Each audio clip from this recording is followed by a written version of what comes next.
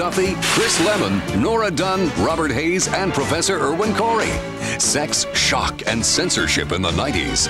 Premiering Friday, September 10th at 10.30 p.m., 9.30 Central, only on Showtime.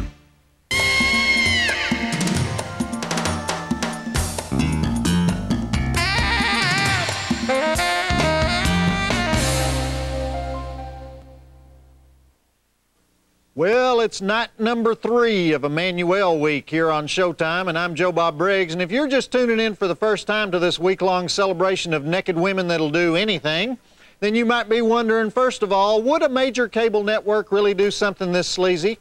And secondly, what have I missed? Well, unfortunately, you've missed a whole lot. You've missed Emmanuelle, Queen of the Desert, Emmanuelle's Amazon Adventure, Emmanuelle in the Hood, and Emmanuelle Goes to Omaha. But you still have three more nights to sit there on your couch wasting your life by watching the Showtime Emmanuelle Week celebration. And of course, you can always deny the next morning that you actually watch these movies. The best thing to do actually is just deny it to yourself. Just act like it never happened, and by noon, 1 o'clock, you'll believe that you did not spend two hours of your life watching Emmanuelle in the Orient. I'm out of luck, though. People can see I'm sitting here like an idiot. I'm not only watching the movies, I'm actually talking about the plots. You know how many people in history have discussed the plots of Emmanuelle movies? One. That's how pitiful it is. Anyhow, for those scholars out there who have been following my description of Emmanuelle history this week, tonight's movie is Emmanuelle in the Orient, starring Chai Lee, this Hong Kong actress who only made one Emmanuelle movie, and this is it. And uh, now that I think about it, she might not even be aware that she made an Emmanuelle movie because they don't call her Emmanuelle in the movie. This is one of those mid 80s things, and by this time they were slapping the name Emmanuelle on any movie that had any remote resemblance to the Emmanuelle plot. Why were they doing that? The same reason Showtime shows these movies over and over and over again. Because you guys will fall for it every dang time. So this one coming up actually has four things that should always be included in any decent Emmanuelle flick. One, you need plenty of strip joints and massage parlors, especially when you're in Hong Kong or Bangkok. And this one is Hong Kong. Two, you must always have one naked bath scene. It can be in a waterfall, the ocean, a lake, swimming pool, but Emmanuelle takes a lot of showers. Number three, you've got to have what the Frenchies call a montage.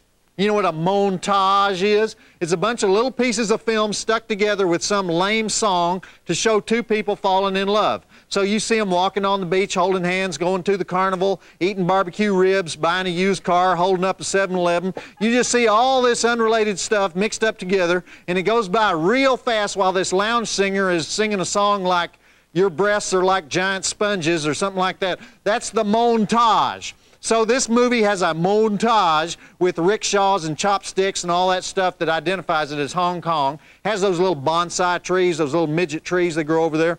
And finally, any great Emmanuelle movie must have a hooker school scene.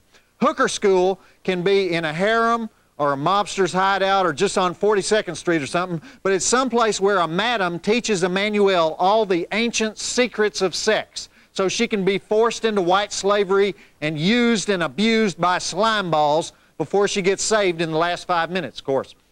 So, anyhow, I'm not really giving away the plot of this movie, but it does have these classic elements in it. If you get bored, remember, only two more nights. I mean, if you're a true Iron Man, you'll tough it out with me. We have no dead bodies in this one. We have 36 naked breasts, and we have one motor vehicle chase.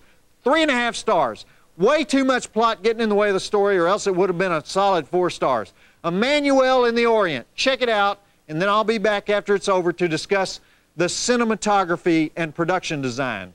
I do believe you'll enjoy this one.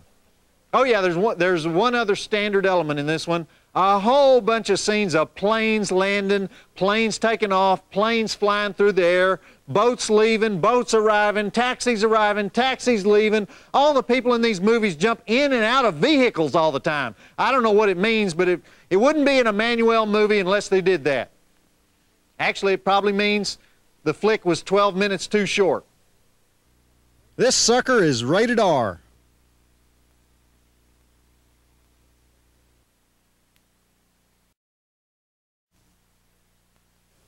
You know what I like about that movie?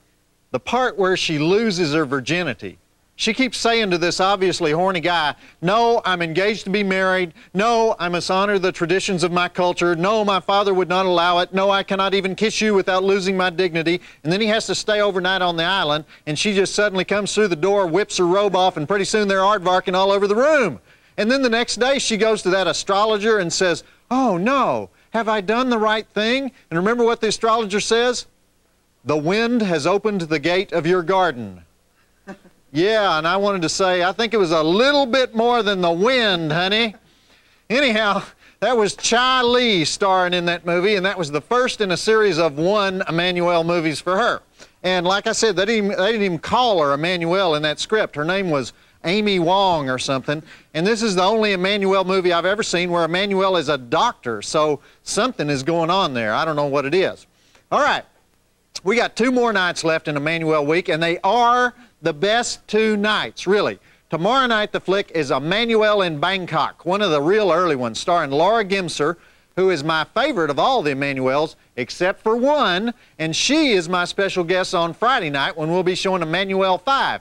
Monique Gabrielle, Miss Emmanuelle 5 herself, will be right here in the studio, along with the director of Emmanuelle 5, Mr. Steve Barnett. So be sure to watch for that. I've had Monique on before on my regular show on the movie channel, and you never know just what she's going to say, and even more important, you can never be sure just what she's going to wear. So you'll enjoy that, and uh, that's it for me. Joe Bob Briggs with another heartwarming night of Emmanuelle Week, the favorite cable program of Jesse Helms. See you guys later. Whew. May the wind open the gate of your garden. I mean that.